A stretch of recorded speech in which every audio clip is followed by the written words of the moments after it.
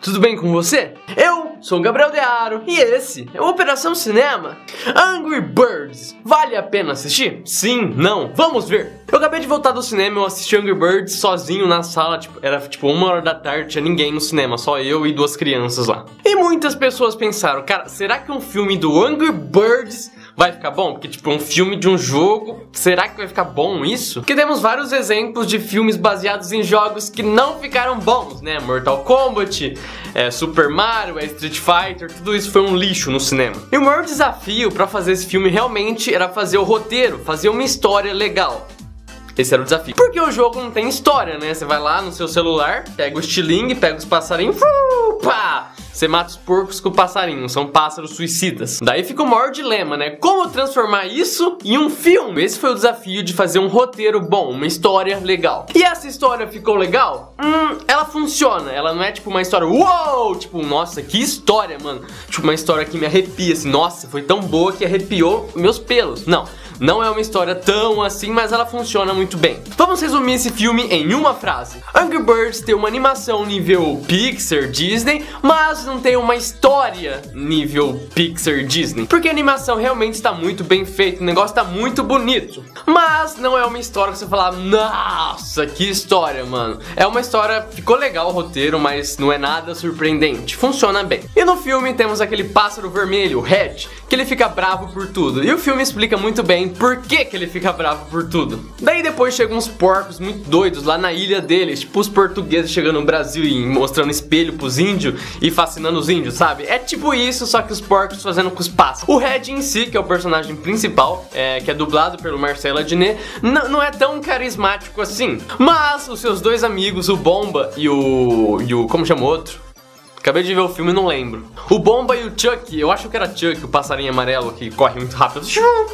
Ele é mó rapidão assim. Ele é dublado pelo Fábio Porchat e realmente esses dois personagens que deixam o filme engraçado, sabe? Esse filme é muito engraçado, tipo, cada 30 segundos, pá, pá, pá, tem uma piadinha, mesmo que for uma piadinha ruim, mas tem piadinha. Mas sinceramente, eu ri bastante com esse filme. É um filme engraçado, dá pra rir bastante. Eu falei da dublagem do Fábio Porchat, né? Tem também a Dani Calabresa, o Marcelo Adnet, parece que eu vi o Mauro Ramos no Bomba, não sei se é ele ou não, mas parece, eu acho que é ele sim, parece a voz dele. E a dublagem tá realmente muito bem feita, tá bem legal a dublagem nesse filme. Mas basicamente é isso, é um filme bem simples, assim, uma história simples, não tem nenhum momento, tipo, emocionante, sabe? Não tem aquele momento que você fica se emocionando com o filme, como são as animações da Pixar. Não, não tem isso. Mas é, é, um filme legal. Tinha umas crianças lá do meu lado no cinema, elas ficavam rindo toda hora. Então acho que pra criança é um filme legal. E mesmo pra pessoas mais velhas, assim, tipo, não é um filme infantil, sabe? Tipo, um negócio, ah, um negócio bobinho. Não, não é um filme infantil. Dá pra você assistir pro seu pai, pra sua mãe, essas coisas. Até porque tem umas piadas mais adultas, assim, né? Mais quentes.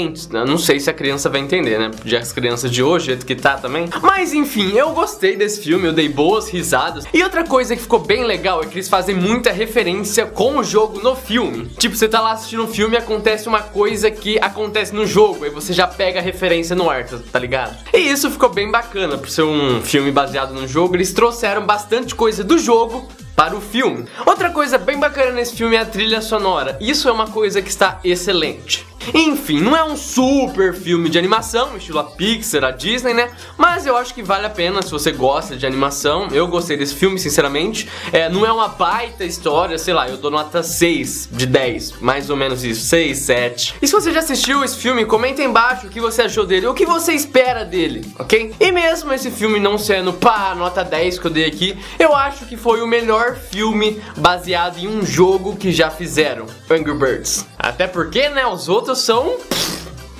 muito lixo. E no final do ano vamos ter Assassin's Creed, que lançou o trailer ontem, né? E vamos ver se esse negócio vai ser bom mesmo.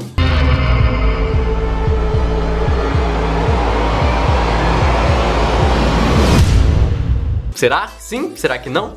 Galera, lembrando que sábado agora vai ter a live no canal. A live vai ser um especial de 500 mil inscritos. Então marca na sua agenda sábado agora, dia 14, às 7 horas da noite, beleza? A gente conversa, vocês mandam umas perguntas, eu respondo. É isso. Dearo, mas esses vídeos de crítica assim, de cinema não seria vídeo bônus no canal? Sim, seriam. E vão ser ainda. Esse aqui é que eu dei uma atrasada nos vídeos dessa semana e pá, saiu hoje, na quinta-feira. Mas esses vídeos de crítica de, de filmes, assim, vai realmente ser na... Vai ser vídeo bônus. Eu dei uma atrasada que terça agora, eu fui lá no YouTube Space, lá em São Paulo, gravar com esses, com esses dois caras aqui.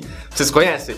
É o Andrei do Você Não Sabia e o Milionka, o Milionka. Em breve vai ter vídeo deles aqui no canal, beleza? Vai ser da hora. Bom, galera, se curtiu esse vídeo, mete o dedo nesse like, se inscreva no canal também. Tem vídeo novo toda segunda e quinta, 7 horas da noite. Então é isso, um abraço e tchau! Os Simpsons é um dos desenhos mais famosos do mundo e provavelmente você já assistiu.